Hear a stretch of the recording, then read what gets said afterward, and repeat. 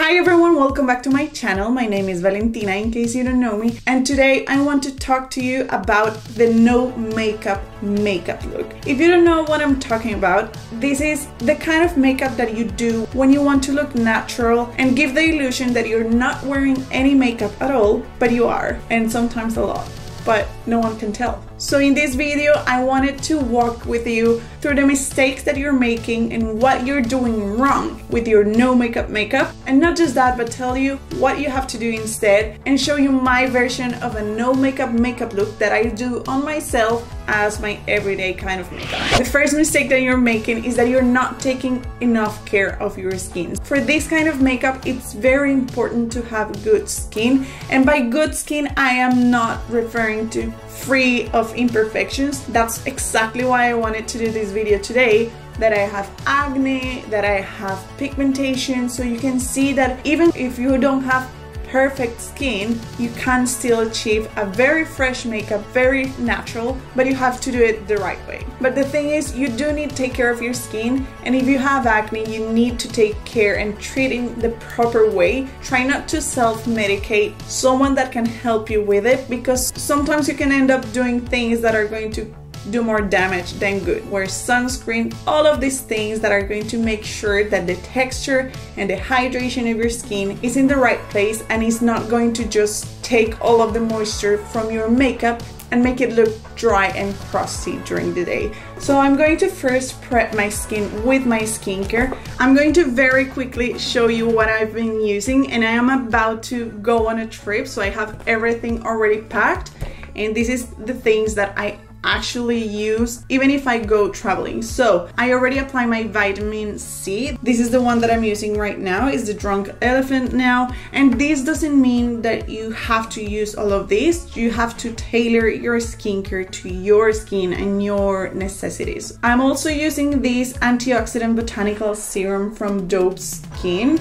They sent this to try out. I fell in love especially with this scrub I used that yesterday, so I'm not taking that with me, but I applied this one, I already did it. Also my Asclear medication for my acne, and this is what I'm using right now, and sometimes I also use this tea tree medicated gel for acne. I'm using the Good Molecules Wake Up Eye Gel cream over here. This is just depotted. This is the Dermalogica Sound Cocoon, Sleep Cocoon, something like that. I'm going to leave everything in the description, and I'm going to use this at night, so I just decorated this because it's it's too big the packaging and these are my two sunscreens. And then we go for the next step. I think that the perfect no makeup makeup has to be a glowy dewy makeup. I'm going to help myself doing that with this luminous primer. This is going to help me create a luminous effect that comes from within instead of having something shimmery on top. That's not going to look as natural. It's going to look a little bit more done. And you want to give the illusion that you're not wearing makeup. So this is going to be great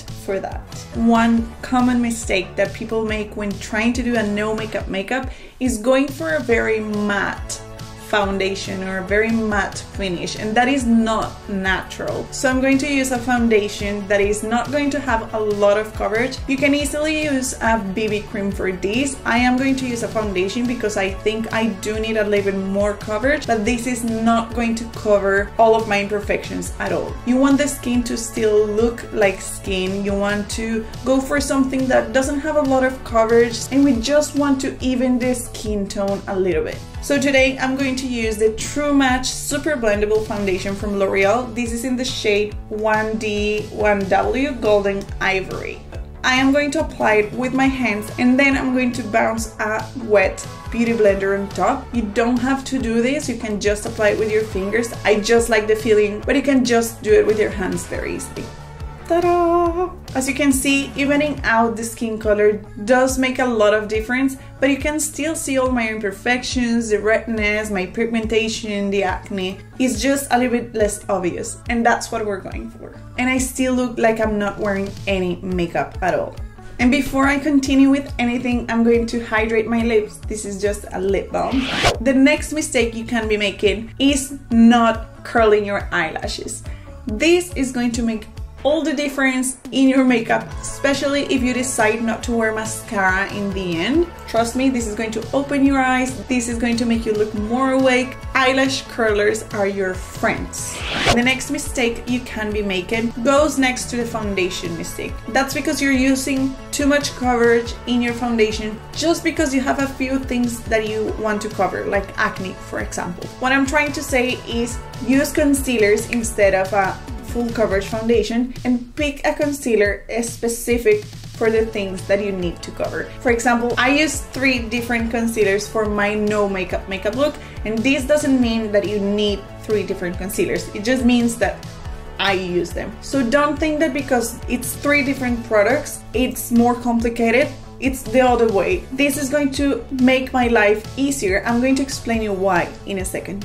The three of them are high pigmented concealers. That means that I only need a little bit and it's going to cover everything so I don't need to use a lot of product. The main difference are the colors. The first one that I'm going to use is the Jouer Essential Concealer. This is in the shade Creme and this has more of a pinky undertone. This is going to help me to cover easily dark circles and also my pigmentation. So I'm going to use this only to cover a little bit of my pigmentation of my upper lip and the pigmentation around my eyes. And for these two concealers, I don't always use both of them. I kind of use both for different things. This is more pigmented, but it's a little bit more heavy. And this is still high pigmented, but it's not as full coverage as this one but this one is not as heavy and is just a little bit more fresh. If it's going to be very hot I won't use this one because this one can look a little bit more cakey with the heat. I will always use only this one but it also depends on how bad it is what I'm covering. So if I have something really really bad I'm going to use this one but I might just use it on that little spot instead of everywhere. And these two are different from the other one because these have a golden undertone and that golden undertone is going to help me cover or correct the redness in my skin. So I'm going to use that only to cover the little redness that I have in my face like the acne but I'm not going to cover all of the redness of my face because look, a perfect skin is not natural. So those little imperfections are the things that are going to tell the eye that you're not wearing makeup. She has a freckle, you know? So it's not about covering all of the imperfections that you have, it's more about deciding which ones you prefer. For example, you're going to see that I'm not going to cover all of the redness that I have in my cheeks or all of the pigmentations that I have around my face. They're going to look like freckles and they're going to just be there. So you want to embrace some of your imperfections and make it work for you instead of just trying to hide everything. So I'm going to show you now how I use these only to cover the acne and how I do it. So I always go with this one first and see how that goes. Okay, so I feel that that worked pretty good. I don't really feel that I need more coverage maybe this one the big one. And also so I can show you how to use that one. But I don't think that I need anything else. Like you can see the redness around my cheeks. That's going to stay. So I'm going to take this little guy over here. And with my finger I'm just going to put a dot on top and blend the edges. And that's it. I love this concealer. The only thing is that with the heat can look a little bit cakey, but other than that, it's perfect. Like it's just magic. Now we're going for lips and cheeks and I'm going to show you a trick that I do is just take a lip balm that is very similar to your lip color like this one and that same product you're going to apply it in your hand and just blend it out with your fingers until you have as much color as you want. This is a great way to pair your lipstick or your lip balm with your cheeks and make it look more natural. I do recommend that you always do it like in a tapping motion just because this is a lip balm and you don't want to move anything underneath. But you can also use a product like this one that is a cream blush. You can also use that on your lips but I wanted to use something different today. You can also use a beauty blender to blend it out for the eyes I do like to add a little bit of powder just because you start getting a little bit of creasing of the foundation. That's definitely not natural. So I want to just make sure that I don't have anything. And for this you can use a bronzer that is very very soft or just a darker powder. That's also going to help to give a little bit more definition. But if you don't want to add any color that's okay and you can use just the translucent powder. So I'm just going to apply it on my crease and without any more product I'm just going to blend the edges to make sure that there's no harsh lines.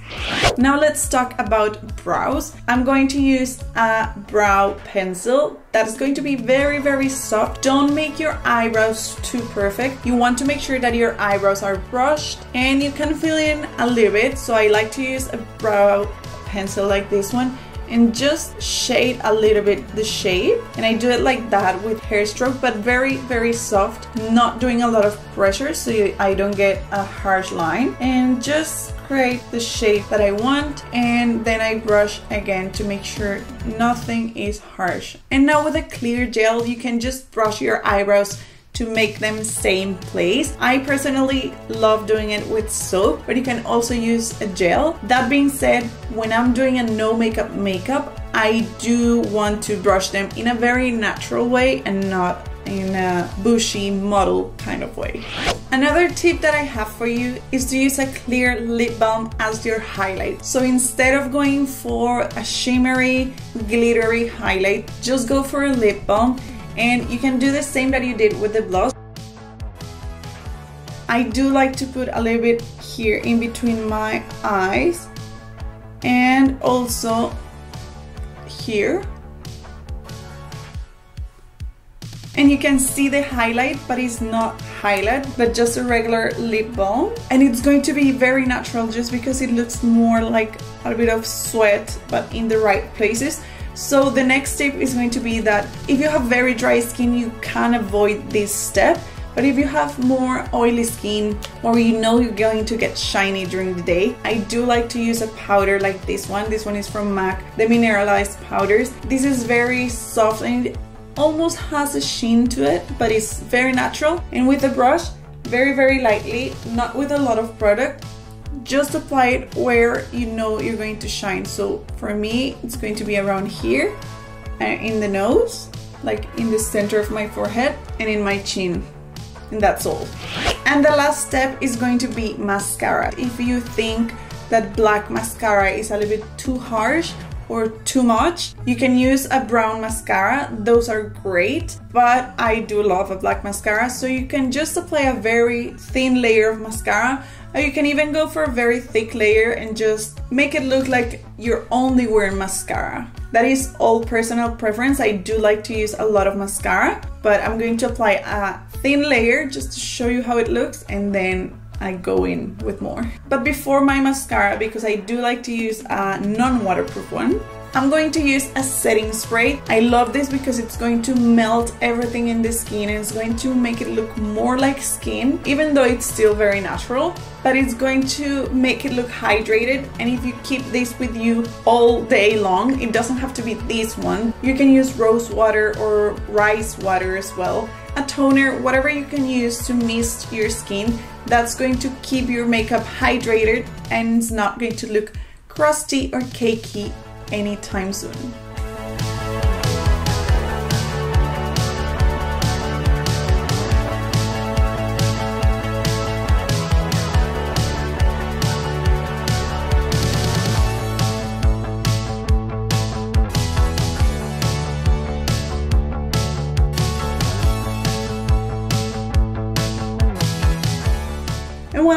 Everything. I hope you like it. Don't forget to give me a thumbs up if you enjoyed it and subscribe to my channel if you haven't already. And I'll see you in the next one. Ciao!